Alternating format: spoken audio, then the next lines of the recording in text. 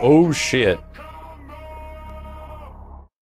I do remember fighting Hibu- Fubuki in the past, that's right. I remember fighting Fubuki online like a couple years ago. Oh. You sure they didn't base Tusk off me? Uh, his nipple. His left nipple is mine. Uh, motion captured, scanned, digitized.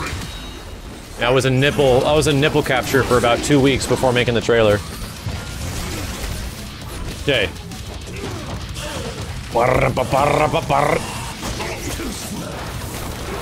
Recap? Good. Remember when Kan-Ra dominated the shit out of this game in Season 2? Holy fuck. It was a nightmare. He still is a nightmare.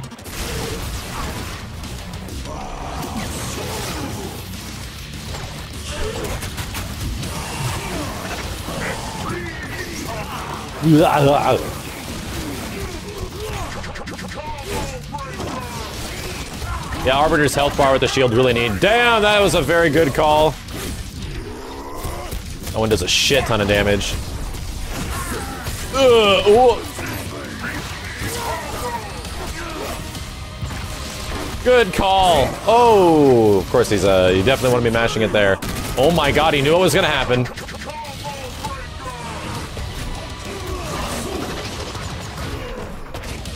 Music's amazing, dude. Yeah, every character in this game is very unique.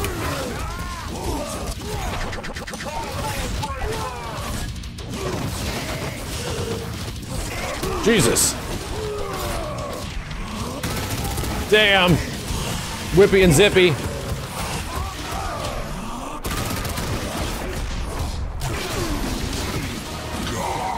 Hit him with the, the stinger. If you get hit with the sting, you are slowed down until you hit them. Oh, he knew it was gonna happen too!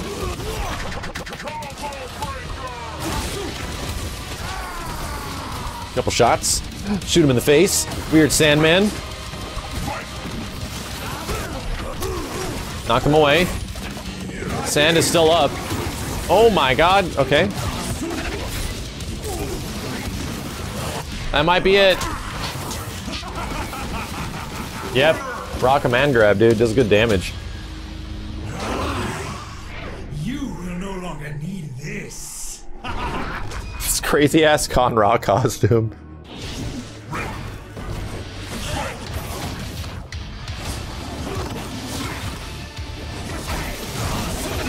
Man, Zerkiller playing Aganos. This is not an easy fight for Aganos, man.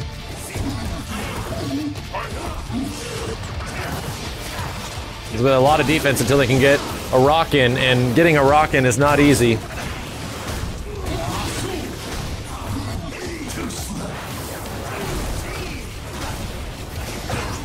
Oh god. Ugh. Oh no, it beat it. This is a this is not an easy fight for Aganos, man. This shit is not easy. Is the camera zoomed out because of how big Aganos is? Yes, there's uh, large characters in this game. Aganos is one of them. Uh, Eyedol is also one of them. They changed the, the camera. Camera gets panned out a little bit. The stage size is the same, though. Stage size is the same, but the camera is not.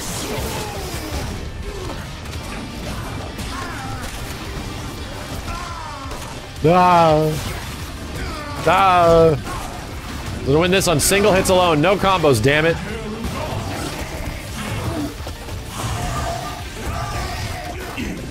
What the hell? He comboed into the forward dash? That was ridiculous.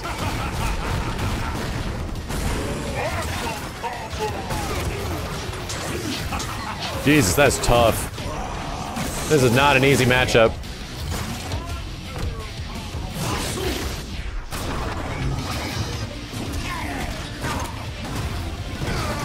Overhead punch! Low! To wait on the rock to come back. All right. One round down. Rock Boy pissed. Uh-oh. this is the unfortunate situation of uh, versus Kan-Ra. You gotta make some very good reads. This is actually slightly in Aganos' favor? Jesus, really? When the hell did that change?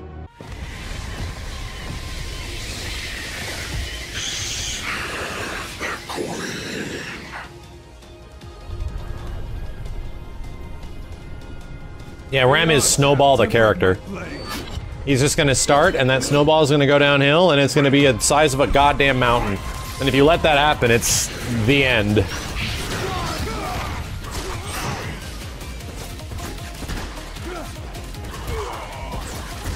Stab! Poke!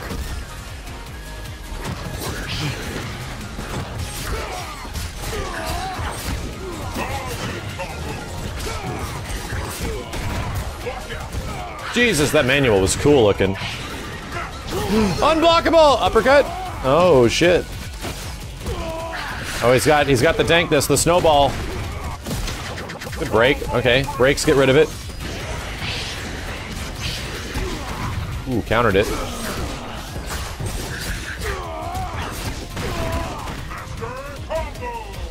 Big boy RAAM.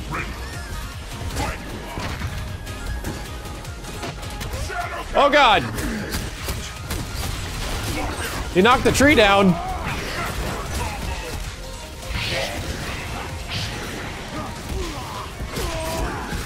That charge up is really good.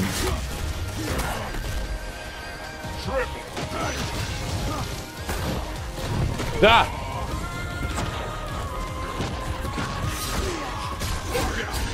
Oh god, the RAAM snowball. That might be it. No?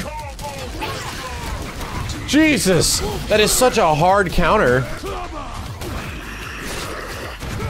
Oh my god. That is such a hard counter for Tusk's normals. You can just charge, eat it, and then go forward? Ugh. Ugh. Yeah, I did a, I, it was like a 110% damage combo with RAAM in one game. Jesus, man. It's, uh, he is nuts. He's a, he's a weird, he's a weird character. Yeah, that's the thing, is that like, all, all General RAAM is, all they had to work with, oh nice, Water Horses came in here. All they had to work with with General RAAM was a dude that stabbed a guy. That was it. And, and a character that doesn't have much mobility because obviously General RAAM doesn't do much in Gears of War. And they somehow made him into a fully insane command grab fighting game character that doesn't just stab stab you, he stabs the shit out of you like a lot. And then they took the Kryll bats. Yeah, they made they made the Kryll a big part of his game plan.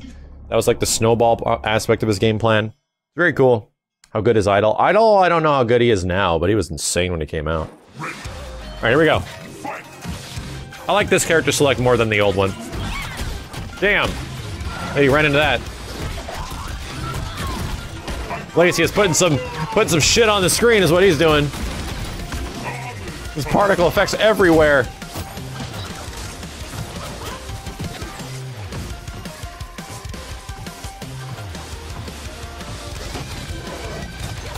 Yeah, that damn that damn blade, dude.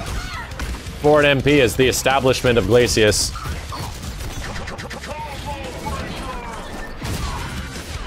Damn, is that gonna hit? The hell? This might do quite a bit of damage. Yeah, that's a solid 63%.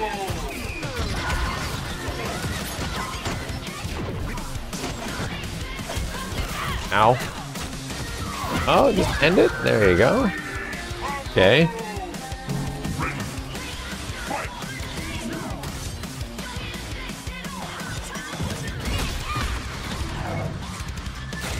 Oh! Countered the unblockable.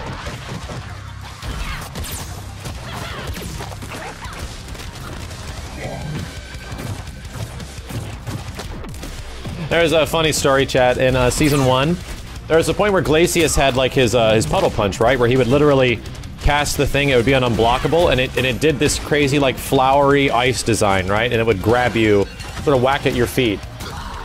And I remember us. Uh, this was bef way before the game was out. We were talking to the developers, and we're like, "It's weird that Glacius doesn't have his uh, his like his like actual punch, like the actual like like uppercut thing. He had that one, but he always had this other this other move, and they ended up adding like the the physical ice construct of another Glacius like punching upwards.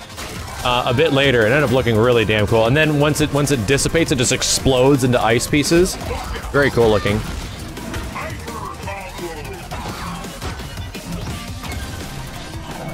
Damn, music is going the fuck in right now. Ooh! Oh, damn, that that cancel was nutty. Oh, the truck! Oh, Jesus! The hell? You can't run from fate. But you should have tried. Yeah, Thunder still does insane damage. Thunder does crazy damage. No one in KI plays similar to each other. Yeah, no character. Every character in KI plays dramatically different. That almost is like one of the difficult things about it. You can't you can't fake your way to being good in KI. You have to just learn all the matchups, you know? Like in lots of fighting games nowadays, you can get away with doing some like really good thing a character can do, and it turns into like a single player game. Like I can fake being good in Guilty Gear by playing Leo a whole bunch. Uh, it's very hard to do that in Killer Instinct.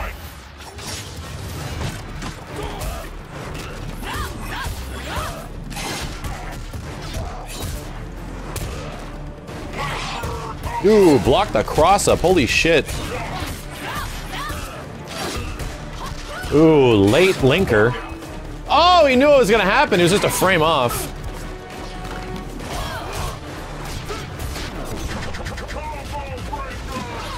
Oh, oh. Nice command grab. Uh, got the hell out of there, though.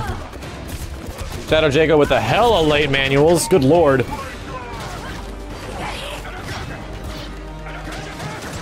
Nice. I like that. Damn. That aerial uh, horizontal to angled fireball gave him a perfect opportunity to get in. I never thought about doing that. Holy shit! That was really far. You saw the reset. Oh god. He's trying to catch something. Still alive. He has to waste uh, Shadow Jago's instinct. So he's gonna wait till the instinct's over. Okay. Nah, not everyone got an ultimate. The development kind of stopped. Storm is halfway around the world. Is he like in the UK or something like that?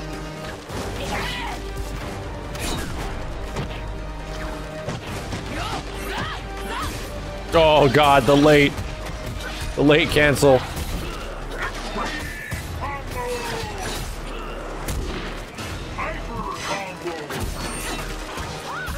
Oh, Storm's in Japan, really? Hoot, hoot, hoot, hoot. Oh, that's badass. I need to steal that shit. Wow. Uh, gonna do Fireball enter for the meter. Jeez, that was cool. I love that.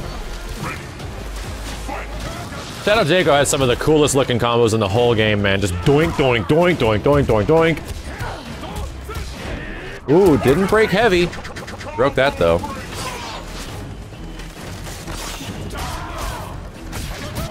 That's awesome looking. Broke on shadows twice. Uh-oh. Very good call. The Shadow Jago can pop it now. Oh god! That's death. That's death. Or not? No death. She had full. Oh, that's what it is. She had full bar. If you have full bar with her, that command grab eventually leads to a combo opener. Too late to get into KI? Well, it's not too late right now, just because you're going to run into people that are going to be very good at the game, and you can't fake being good at KI. It will take a while for you to get good enough to fight people of this level, you know? But there's so much to do in Killer Instinct as a game that it's not too late to get into it all. Like, it costs 10 bucks if you buy it on Xbox or Windows 10. And there's still people playing online. You can still find people. Maybe not all the time, every day, anytime. But for a game that is now almost seven years old, or eight, uh, is about to be six years old, yeah, is still definitely, definitely a lot of people to play.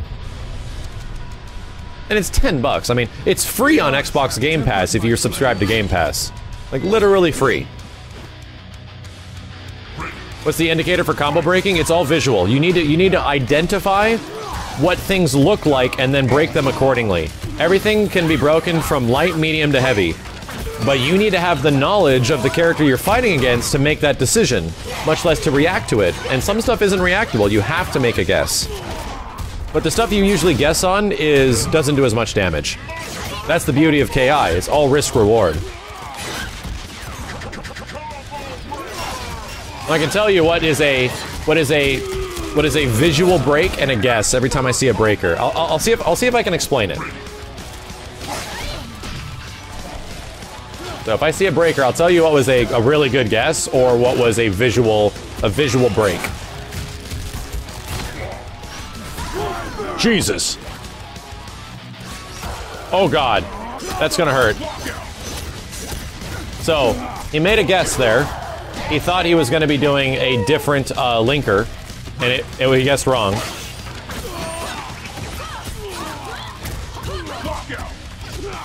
That was a uh, that was a guess. Guessed wrong. When he broke really early. If you break really early at the portion that's breakable, that was another good. That was a good guess because few good guesses here because the visual parts are very distinct. And if you get broken at the beginning of it, it's it's like legit. It is a it is a guess between one and three. Now here's the gimmick. Oh, he's dead. Uh, actually, no, didn't have enough wrath. Here's here's the gimmick. If you make that guess that early in the combo and you guess wrong, what happens? You're gonna you're gonna if they have meter, you're losing sixty percent. You if if you guess wrong, that that normal combo that someone would normally do like twenty to twenty five percent, okay. But if they if if you guess wrong that early and you just it just didn't happen, now you're gonna lose twice as much health as a result. So that's a big ass part of it, man.